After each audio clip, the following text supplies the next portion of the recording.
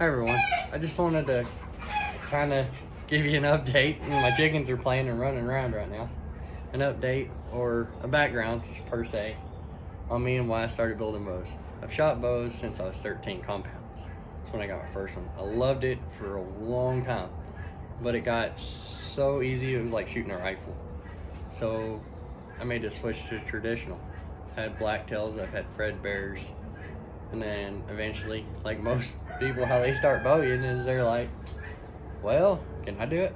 So I started playing with that, and I've been doing it a few years, mostly just building for friends and family.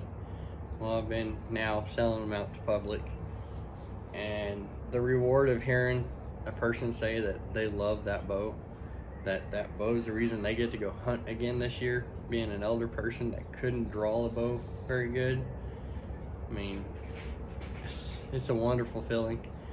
So I hand build each bow, everything on mine.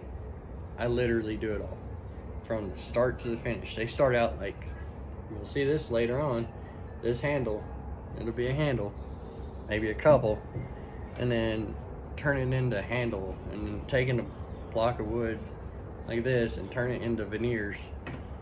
I mean, it started out as that piece of wood and this is what it finishes up as. I mean, this is my personal bow I built for me. I love doing it.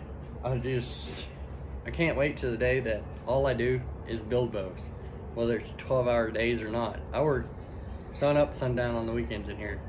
Come home from my actual work, which I'll be leaving to after this video.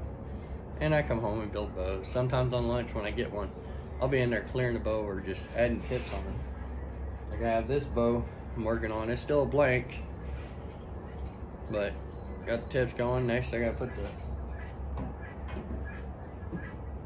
the front piece on and then start shaping the handle out and sand her down and get her cleared and she's good to go. But I just wanted y'all to know I love doing it. This is why I do it. This is why I practice all the time. I don't have an arrow currently set up for my bow in here, but I'll send one. This is a really heavy arrow, wooden one. Actually hickory spliced with walnut. A little different, but it's gonna go out of my 51 pound bow. Let's see how it does. Pretty good actually, perfectly straight for this bow. So I just want y'all to kind of know a little bit about me on the backstory. And I appreciate it. Thank y'all for your time. Have a blessed day.